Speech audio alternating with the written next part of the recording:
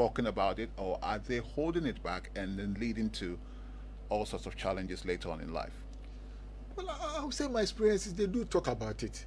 Probably within, in, in, in, in, within the, a context of, you know, boys, boys and men, men, and Sure. things like that. So it's talked about. Uh, if sometimes even people want to outperform what they naturally could even do. Uh, just that the discussions are such that because they are not specialists, then one particular medication is suggested or the other, one particular herbal medication is suggested or the other. So they do talk about it. Just that then you end up taking some other medications which then may give you some side effects and some complications uh, further.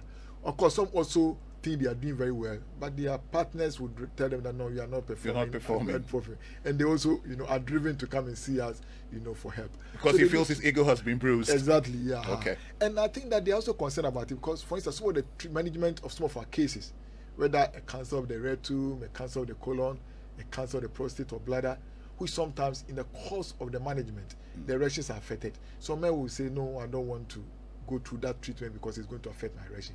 So I think it's a concern for men and they are willing to keep it uh, uh, as Right. much as they can. Okay, another question that's coming. It says, "Hi, Home Affairs.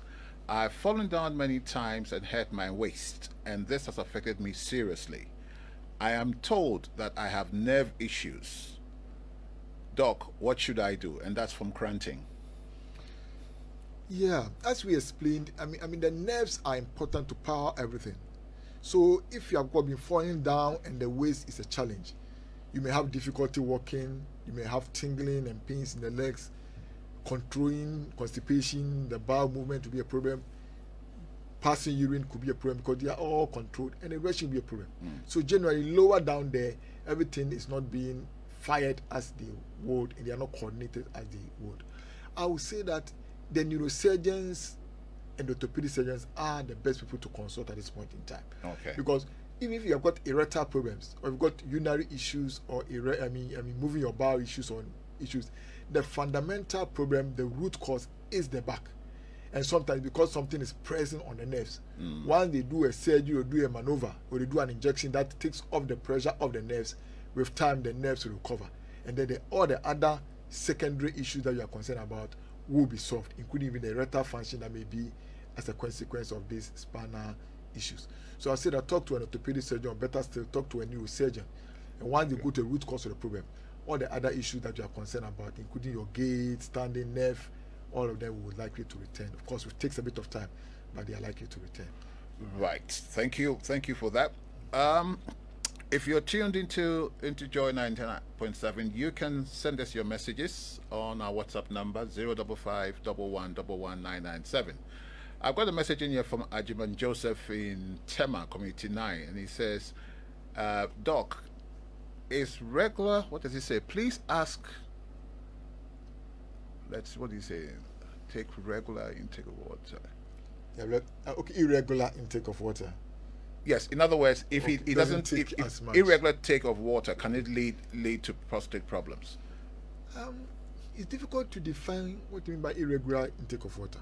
Probably what we have experienced is that, you know, the age group that prostate enlargement becomes an issue, making passing urine difficult, straining, having a poor stream. At that age as well, the bladder itself is also getting older, and so the bladder function is also less. Less nerve to power the bladder, urinary bladder, less muscle strength to be able to push the urine compounded by the prostatic obstruction, the bladder undergoes changes. So here you are, the difficulty with urination or the problems with urination, either difficulty or passing too frequently, has to do with the prostate and the urinary bladder that has been compromised in one way or the other.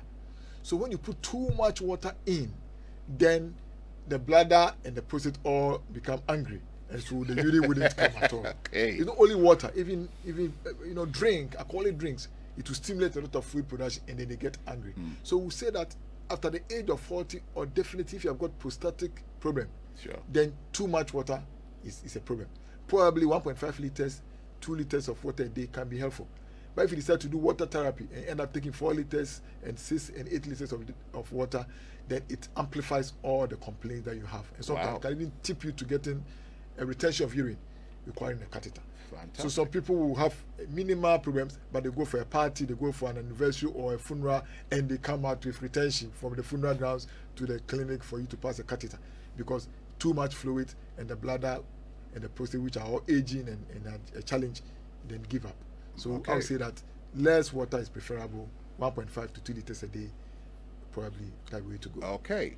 We're also coming to you live on Joy Prime TV on DSTV channel 281, and we are discussing men's health on home affairs. My guest is is Prof. Um, Matthew Kyei Yamoah. Uh, he's a consultant uro- urologist, and uh, we're discussing the whole issue of men's health. We've, we've touched on the issue of testosterone, we've touched on prostate a little bit, uh, erectile dysfunction as well. And please send, keep sending in your messages, and we'll do our best to answer all your questions. The number is 055 111 Prof, I have a message in here from let's see who is this? From Yao and he says I've been married for 4 years. I'm 38 anytime I have sex with my wife it only lasts for the first round. After that I don't get an erection again until the following day my wife has tried helping me on some occasions by massaging my penis but still it's not working what do I do Okay. So from from from comments, it looks like he's able to get one good erection. That tells us that the system is working, Working. well. The nerves, the blood vessels, the penis, the hormones, they are all working well. Your ability to go for a second, a third, or a fourth one is a matter of recovery of the system. And the recovery of the system depends on the efficiency of the heart and the nerves. And it has everything to do with exercise. Everything for the tension to, to, to come back. And of course, the hormone level as well. So if there's a difficulty coming back, then I would say that look at your life. Are you sedentary? Are you always in a vehicle moving around? Are you not? If you are not exercising, then that is a challenge because the system is good, just that the recovery is slow, and so the heart must work better, the muscles must work better. If you're on some antihypertensive medications, we may consider changing it. So let's look at your heart. How well is your heart doing? Are you hypertensive? Are you diabetic? Let's deal with those things. But importantly, is an exercise. Importantly is the testosterone level. And as I said, at your, your age, and we may not need to pay the testosterone, but let's make what we have efficient. And I'll say that exercise, Wake up and you realize that uh, pretty soon you can go the route that you want. The more sedentary you are, the problem.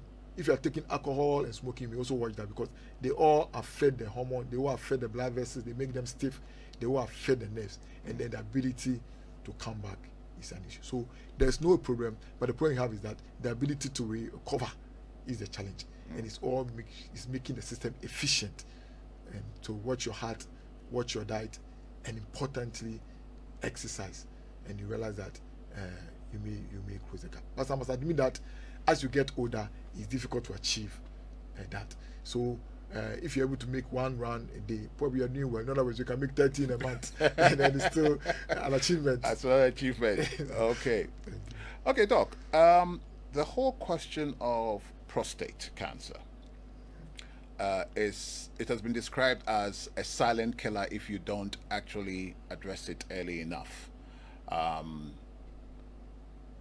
how do we as men manage our prostate effectively to ensure that we don't become susceptible to prostate cancer? Okay. I, I, I'll say that we, from the African background, are at a disadvantage. Because I know you have got the Caucasians and white listen to us, we've got those in the Asians listen to us. Uh, for the Asians and the Caucasians, the chances of getting prostate cancer is a bit on the low side. Why is that? It has to do with two important things. One is genetics. We inherit some genetic components on chromosome 1, which runs through us as Africans, which predispose us to developing prostate cancer. Okay. So an African in Brazil, an African in Nigeria, an African in, in Austria has the same risk of developing prostate cancer like any other African, and it is higher. Right. In fact, a work that was done here in Kolebule by Professor Yeboah found out that the prevalence of prostate cancer in the community is about 7%. So out of every 100 men in Ghana or in Accra, Greater Accra, seven of them was having prostate cancer in various stages. So, so we are at a divan- at a disadvantage. First. So in other words, what I'm trying to point out is that screening, approaching for it to be assessed is extremely important. So after 40 years, definitely 45 years, every year you need to get closer for us to assess you by the prostate specific antigen PSA and a rectal examination. If you realize that they are very, very good, we may ask you to come every two years or even every three years, depending on what you have. So screening is extremely important. You ask again, why is it that we Africans are at a disadvantage? The next thing is that we have high levels of testosterone compared with the Asians and the, you know the other groups.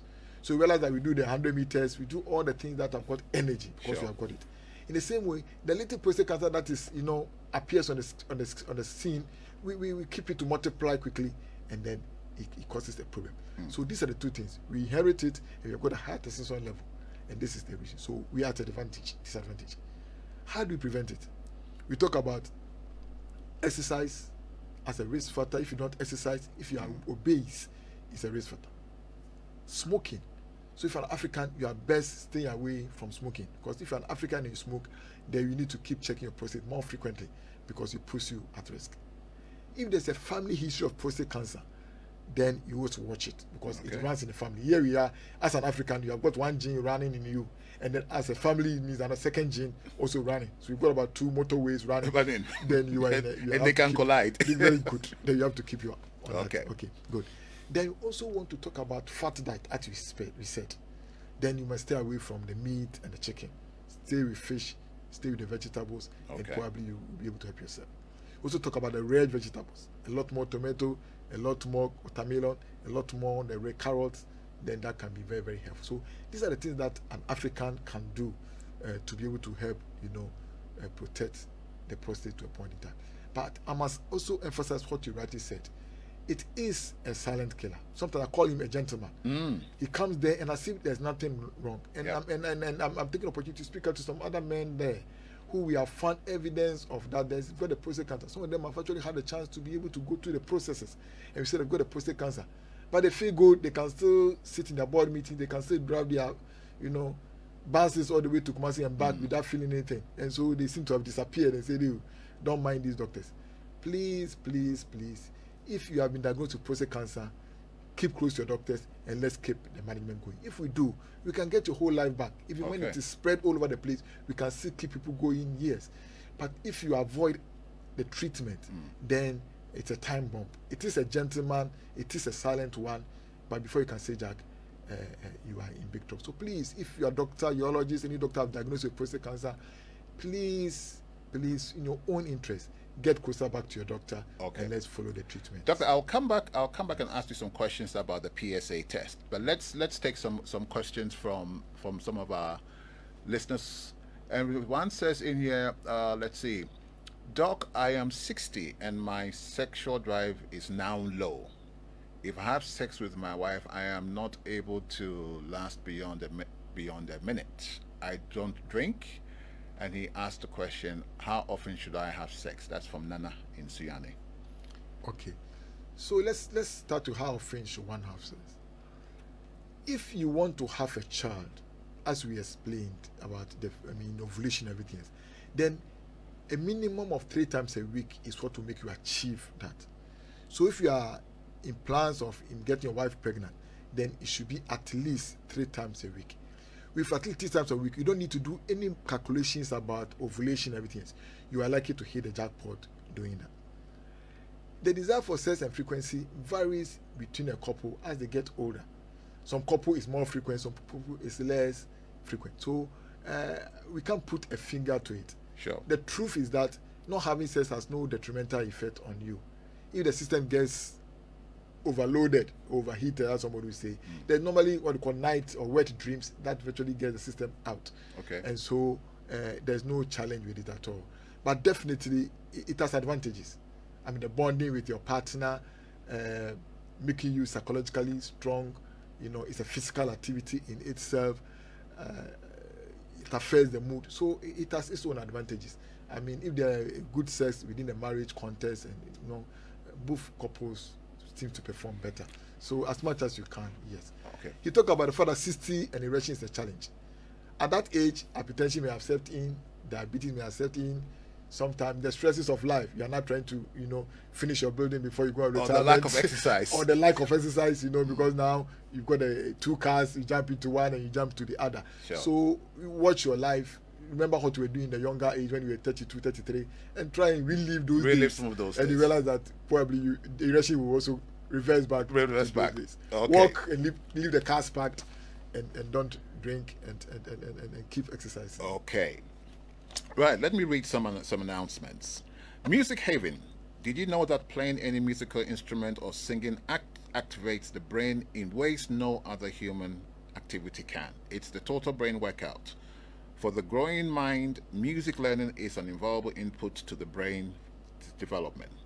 It is enjoyable, instills discipline, and develops the mind. At Music Haven, we teach all the musical instruments piano, organ, violin, guitar, saxophone, trumpet we teach both adults and children. So parents, why don't you enroll your children at Music Haven for a great musical experience? We are open Mondays through to Fridays from 8 a.m. to 5 p.m. and on Saturdays from 10 a.m. to 3 p.m. You can find Music Haven on Mensah Sarbah Road near the Mallam Atta Market or next door to Teledata. You can call us on 0244 356 173 or 055 255 8398. We look forward to having your children in Music Haven. Make your children heroes among their peers. Music Haven, your musical coach. For your eye care challenges, look no further than Amasha Partners Limited, and they have all the eye care that you need. Your eyes deserve the best care and quality designer eyeglasses. Amasha Partners and Eye Care undertake the following services supplying of designer frames, sight testing, supply of lenses, sunglasses, contact glasses, ophthalmologist in attendance, and general treatment. Locate us at La, opposite Trade Fair, Spintex, adjacent to IGC, ICGC before Community 18 Junction, MacArthur Hill opposite Bench Lodge, North Kaneshie Swan Lake opposite Greenhand Junction, Achimota second floor Denswa Plaza, Takoradi, Axim, Takoradi, Axim, and opposite the CB, CBG Bank. Ho, opposite Housen Junction, in Kumasi Airport Roundabout, Korle Bu opposite ECG, and Koforidua Central Hospital Road and Tema Community 1 Meridian, Pla Meridian Plaza. Contact us on 0302 939 850 and 0302 778827. You can follow us on Facebook, Twitter, and Instagram. Father's Day is just a few days away, and you're already getting ready or fretting over what to get for your father or father figure for the celebration. You're saying to yourself, not another aftershave. Not to worry, GTP has got your back with prestigious Dumas fabrics as the perfect gift for this year's Father's Day. Just pick from six distinct designs that are an embodiment of creative thoughtfulness that would appeal to and excite the man of your desires. Choose the new Dumas collection as a Father's Day gift, and I can assure you'll be glad you did. You can even order conveniently by contacting 0509 940 949. That's 0509 940 949 and get a fitting Dumas piece delivered to your doorstep. So keep Father's Day feeling flowing and order Dumas fabric from GTP today. Trust me, you'll get a big hug from him. Pentecost Hour, a religious broadcast program sponsored by the Church of Pentecost, comes your way with the chairman of the Church of Pentecost, Apostle Eric Nyamekye, on Joy 99.7 at 9:30 p.m. every Monday. Tune in every Monday at 9:30, starting from March 14th, as Apostle Nyamekye brings you life-transforming truth that nourishes the soul, ignites passion, and restores hope in the nations. The Church of Pentecost, we are possessing the nations for the Lord. Ayiko to all fathers repping the real daddy code, which says, Be daddy, be present. This year, your Superstation Joy 99.7 is embarking on a campaign to celebrate fathers between the ages of 22 and 45. Oh, that leaves me out. These fathers are attending antenatal cares, taking their children for weighing, going mother care shopping, and guiding their children through all their developmental ages. Here is how to join the campaign.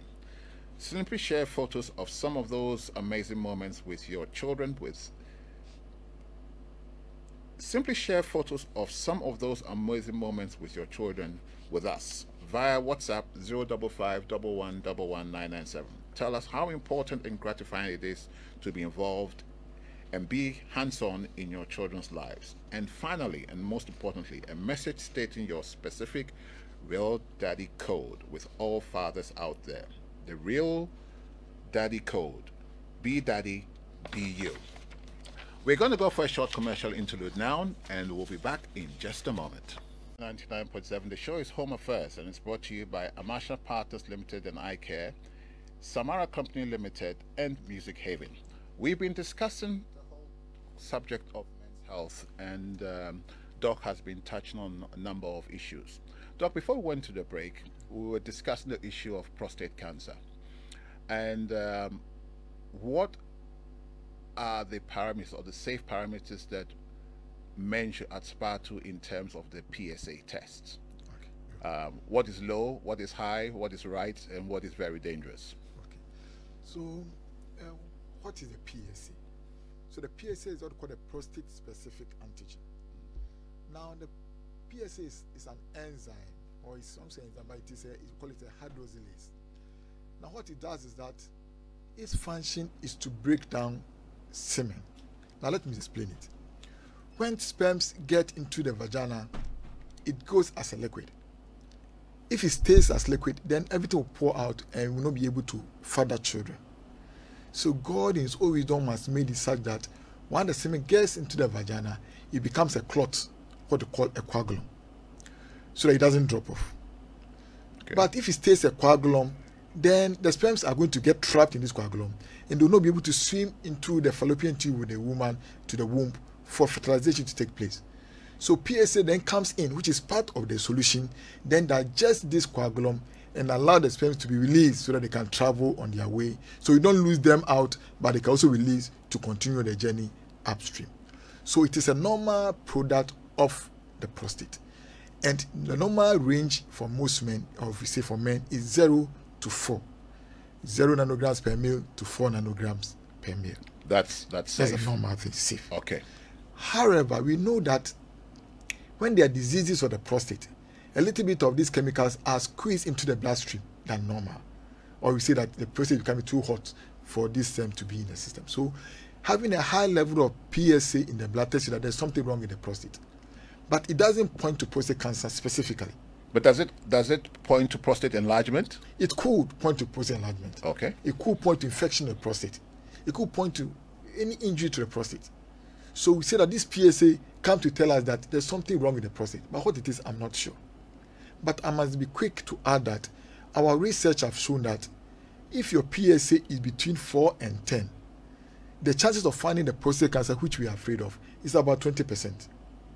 Between 4 and 10? 4 and 10. Okay. If your PSA is between 10 and 20, it moves to about 30 33%, almost 1 in 3, that you may find a prostate cancer.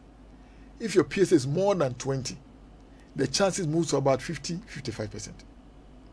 Wow. And actually, the last thing we did last period, we found out that if your PSA is more than 100, the chances was Joy FM, 99.7% chance of like finding prostate cancer, which is what we are afraid of. Okay. So, yes, it's a PSA, but the higher the value, the more likely that what we are concerned, the prostate cancer, mm. is the issue. And just yesterday, I saw somebody's PSA, 3,686. Wow. And so in that case, the chance of prostate cancer is almost, uh, you know, a reality. Reality. Reality. But so we do, in other words, we don't depend only on the PSA to make up our mind. Right. And next step is what called a prostate biopsy, where we take some of the prostate and then we take it for the pathologist, another specialist, to look okay. at it and analyze to confirm our suspicion whether what we think is a prostate cancer or not. Sometimes we send a tell you back, oh no, you are not, you are wrong. It's not prostate cancer. It is just an enlargement. Oh, don't worry, it is just an infection. Right. They will communicate same to the person. When you tell them, oh, your suspicion is right, it is a prostate cancer, and then we can then continue with what you are doing. So the PSA is important, and it's important because most laboratories can run it for us. Mm. So if you don't even need to see a doctor, you go to a laboratory, they can run it for you. Okay. But we normally will combine that with what we call the rectal examination, where you put your hand and then the anus. Because unfortunately, we know that sometimes if there's a prostate cancer in the prostate and it is too too bad, too too, too much like on prostate, Mm. then the PSA can be very low. Okay. So there have been instances where the PSA is unfortunately lower than four, but yet they've got a prostate cancer and sometimes even succumb to it. Okay. But so, in other words, if the PSA is normal and you have no symptoms, and our examination is normal, we are happy. In fact, if the PSA is normal, you have no symptoms, probably there's no need to do an examination. Okay. But if the PSA is normal and you have got urinary problems, then it's mandatory that we do the examination. Okay. That case, the examination then will override the PSA level in our decisions to manage. and how often should men um, undertake this PSA test? From after 40 or 45, I would say yearly. Okay. But after review, if you think that your PSA is less than one, sometimes we may ask you to come in two years' time. That's if you have no complaint Okay. and no symptoms. Okay, Doc, let's take some questions from um, our listeners. Someone says here, Doc, please, what are the causes and effects of blue balls? Uh, that's this new one to me. Have you come Good. across this? So, what do we mean by blue balls? Now, blue balls is pain in the testis or the scrotal area, and it comes because the blood vessels, the tubes that contain sperms, have all been engorged, and so it hurts. Okay. And this normally comes about if somebody is stimulated to the point of you know, you know, sexual gratification, but is not gratified. Okay. Then that is where the pain comes from.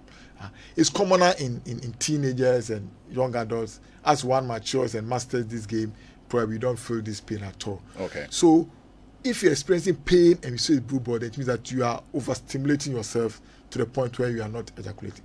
Either you are masturbating, you are not completing it, or you are watching videos that are too stimulatory, or you are reading, you know, material that is too stimulatory. Right. Once you avoid these materials, probably you should be fine. Okay. The ultimate is night where dreams that takes all the pain away from you. Okay. There was another question that came on earlier on where a gentleman said he actually had a, a curved manhood um, upwards, and obviously it's a it's a problem problem for from him. Um, Good. So so we call that a chordee. The penis has a bit of angle, which is acceptable, not too angulated, angle downwards. Okay. But it can be angulated two down, more to the side or up, as Right. the person have said. Good. If you were born with it, then it's a congenital problem. okay. There are about three rods inside the penis, like three fluorescent tube bulbs inside the penis. If one of them is shorter than the other because of congenital abnormality, then it tends to bend towards the shorter side. Mm. And so you are born with it, you are eight years, nine years, 15 years, and it's bent, mm. then that could be the reason, the congenital problem. We can do surgeries to, to, to, to, to correct it. But if it comes in adulthood after 20, 40 years, then we have what to call it a Peyronie's disease. They are fibrous tissue or scars that appears within these rods that squeezes them up or contracts and burn it. And that can be a challenge. And so it can Okay. burn it to such a point that sometimes it's difficult even to penetrate. Penetrate. Penetrate. And Okay. that can be an issue. Again, we can deal with them. Sometimes we start with just vitamin E, if the initial stages, and that can resolve it. So there's there's hope for Yes. treatment. Sometimes there's surgical correction Okay. of it. Another question is coming from Selassie, and she says her husband is asthmatic, and as a result, his interest in sex is very low. She wants to know if this asthma is the contributing factor to his lack of interest in sex. Um, um, asthma per se should not. Okay. Of course, you need your lungs, you need a good oxygen to to to, to get this. It's an exercise, whole exercise, exercise. So if you can't exercise because your asthma is so severe, then this business can be challenging as well. Okay. What I'm not too sure is the medications is on. Okay. Probably we should look at the medications is on again. Okay. Or he's scared because maybe when he gets there, he's, he's struggling for breath, and so it's an avoidance uh, uh, tactic that he's Tactic, just okay. to keep alive. Just to- okay. So well, we need to talk to and understand what the issues. counseling. Uh, counseling, and understanding the issues. Okay, Yes. we're going to open the phone lines. Um, if you have any questions, you can dial into the studio. The number is 0302 216 541. 0302 216 541. Let's hear from you. Doc, uh, while we wait for some callers to, to come in, someone's uh, sent in a message. I think it's from the same person. Uh, another Selassie says, uh, My husband can only. what he- What he can only do one round. He's he's able to he's able to keep hardness. Okay, so here's basically what what the person is actually saying is um, her, her partner actually is able to have a long a long erection, and she wants to know whether this is dangerous uh, because he's he's 50 years old.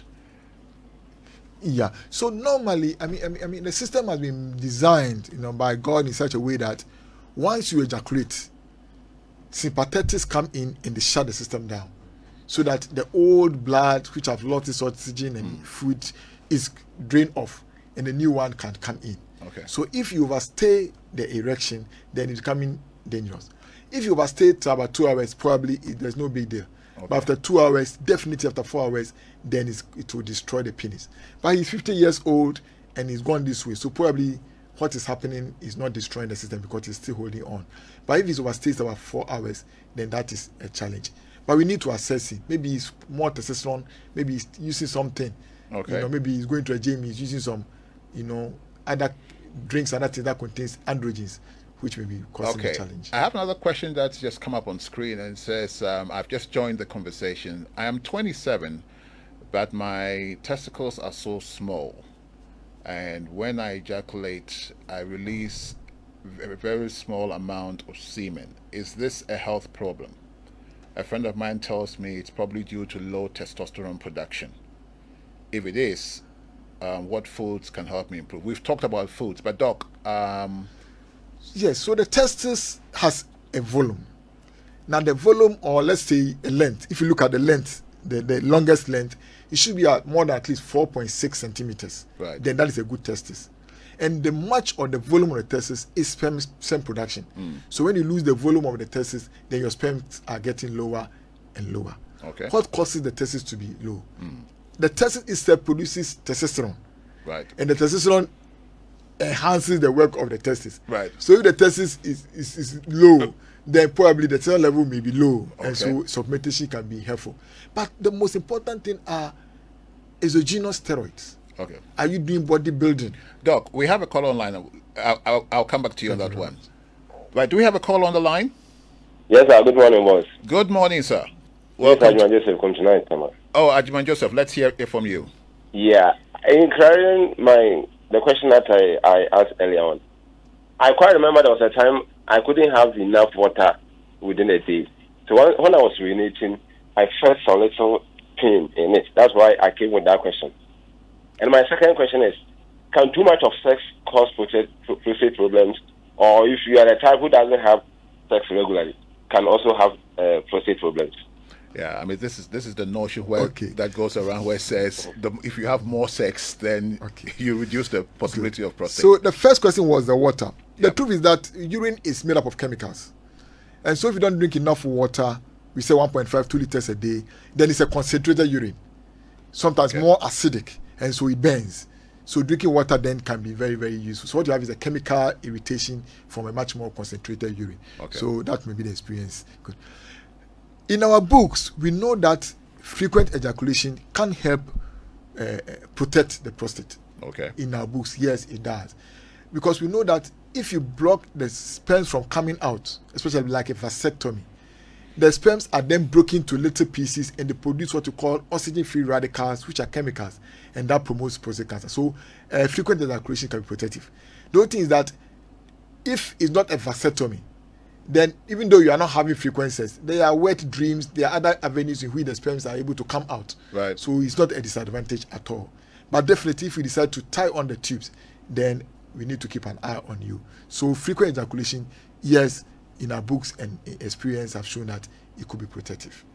Right. Okay. Uh, we have a question here from Senor in Kasoa. It says, please, I'd like to find out whether external hemorrhoids associated with bleeding can affect male fertility.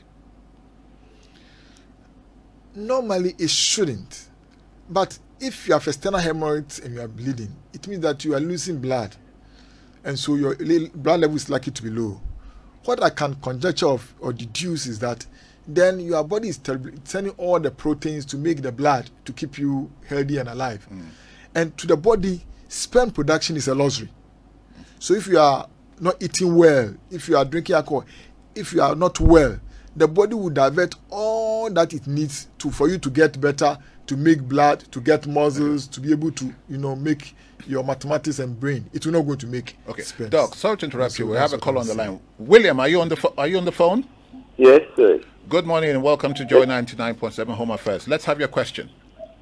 Yes, I'm 46, and then I'm a diabetic. Uh, I'm experiencing aggressive numbness under my feet. And then Aggressive aggressive what? numbness Okay. under my feet. And then for the past six years now, I've not been able to have erection. I mean, an aggressive erectile dysfunction. And it's, it's really worrying. I don't know if there's a way forward, if I can have a child uh, in future. And then uh, uh, I'll be able to marry and have a child in future because it's really worrying. And I, I, don't, I don't know if there's a way forward. And for the past six years, I've not been able to have how they call it, uh, an erection at all. I mean, an aggressive erectile dysfunction. Okay. So I want, to, I want to know from a doctor. Okay. And then secondly, and then secondly, uh, I, I don't know whether it's authentic kind of research. Uh, people that say if you masturbate, you know, it can prevent uh, prostate cancer. I want to know from a doctor. Okay, so thank you very much. So let's let's take the first question and that you said.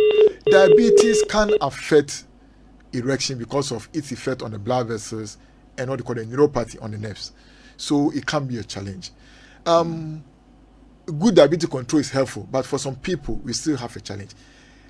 What I would say is that the treatment for erection they are at various levels. We can give you medications. If they don't work, there are injections we can give into the penis that can be helpful. So that option is there. If that is a challenge, we can use what they call vacuum pumps that can also be useful. If that doesn't work, we can put implants in there to help the situation. So there are various levels of intervention. The truth is that children or making semen and the erections are two different pathways. Once we get the rigidity, the sperms will flow. Okay. So the emphasis: how do I get the rigidity for the sperms to flow? And I think you shouldn't be afraid. You can get married. I mean, we can talk to the wife and discuss it. And there are various ways of doing that. If you are not able to do it here, we can direct him where he can get help. But now, various urologists, various expertise are available. Okay. And we can direct him to a urologist who can help one way or the other. Okay. I think we have another caller. Mensah, are you on the line?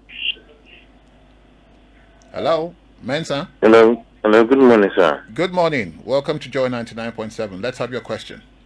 Okay. So please, uh, uh, uh, uh, uh, hello, sir. Yeah, go ahead. Okay. Please, uh, uh, uh, I'm 39 years. Yeah. Hello. Yeah, go we ahead. We, we can hear you. Go yeah. ahead. Uh, yeah, I'm 39 years. My wife is 40, 43 years. She got pregnant uh, eight months ago, and uh, uh, the pregnancy spoiled. So since that time, he hasn't been able to get pregnant again. And I don't know, is it my semen that is not good, or he doesn't have good eggs, or what should we do? Okay.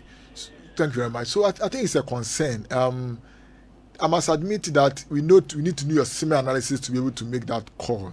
But definitely, your wife at 43, as you approach 45, 47, getting pregnant becomes a bit difficult. And you may need a gynecologist help in one nutritional support or the other. So I think that I would say that you and your wife should see the gynecologist. And um, they will, they will ask you to do a semen analysis and also assess your wife and then be able to advise. Yes, we need to know what your situation is so far as the sperms are concerned. But of important and of time con- uh, concern is your wife and her age. And sometimes even when your sperms are very good at the age 43, we may still want to, you know, expedite that action Sure. to be able to achieve. If you want to have two or three children, we need to start quickly. So just go with your wife to any gynecologist at all. I mean, they are specialists at various fields. If a gynecologist cannot help, he will direct you to one other person who has an expertise in one area or the Yeah, other. there are some women who have been able to have, have children Yeah, even, even yeah. late late forties, early fifties. So So, there are help is available. can be helpful. Right. I believe we have another caller on the line. Hello. Hello. Hello, good morning. Good morning. What's your name and where are you calling from? Well, I'm Mike, uh, from, Mike from Ad- Adenta. Okay. Okay. Please go ahead. Yes, I, uh, I thank you very, very much for the good work you're doing for us. Michael, can you reposition yourself? You're breaking up. Can you reposition yourself, please? Oh, okay. Um, what I'm saying is, uh, I thank you for the good work doing for us. Okay. Thank you. Yeah. And uh, ask, does the uh, BP medicine have effect on the erectile function? Erectile function? Doctor, you get that? Yes, the BP medication. Yes, that, That, is, that is a very interesting question because um, all the BP medications have a chance to affect the erectile function. Yeah. And all of them has a chance not to affect erectile function. So the strange thing is that you give one person this medication and hooray, is perfect. Another person then is giving erectile dysfunction.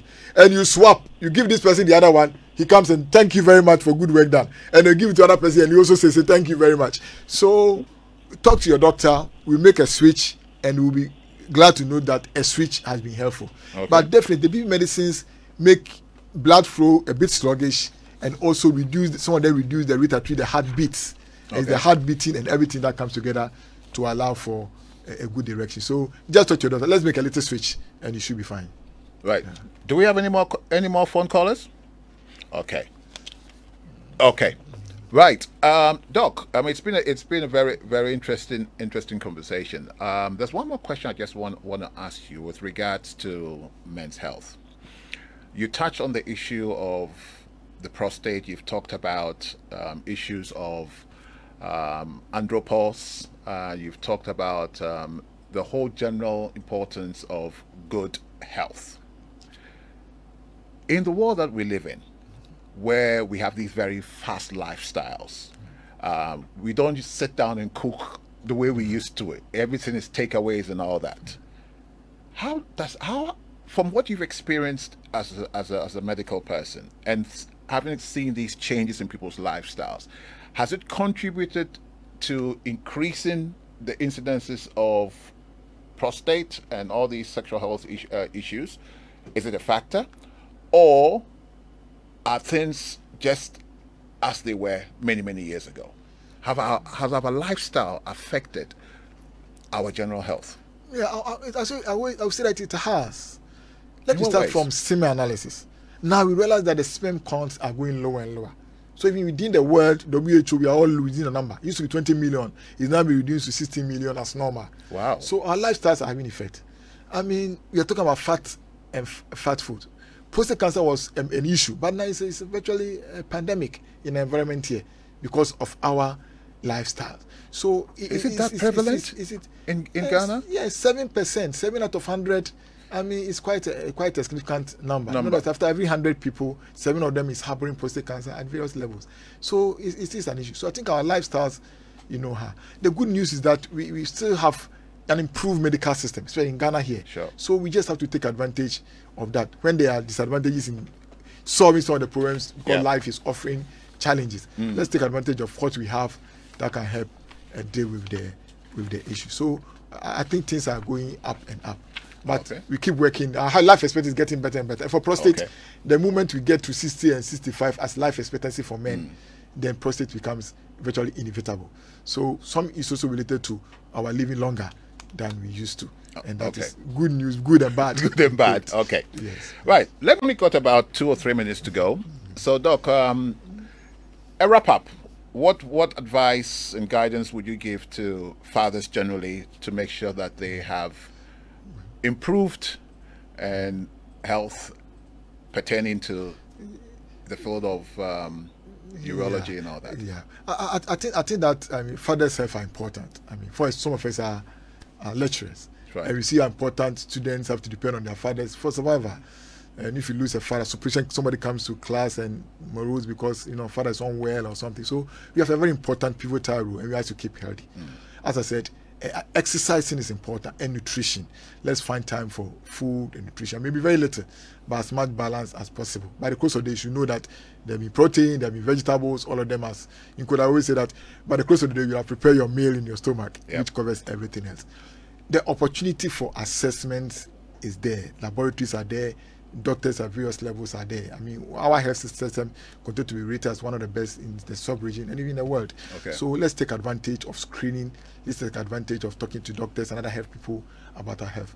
And when advice are given, please uh, let's follow it through. And, and we are doing well. Our life expectancy is 60.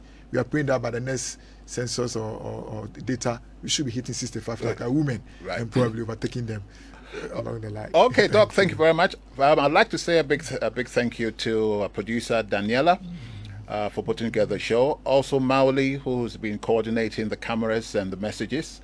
And not forgetting Dennis, who's been working us on social media on Joy 99.7 Live Facebook. It's been a pleasure bringing you home home affairs. Sammy Forson is coming up with the Weekend City Show in just a minute. And next week, your regular host, Adam Nightail, will be here. Thanks for listening and God bless.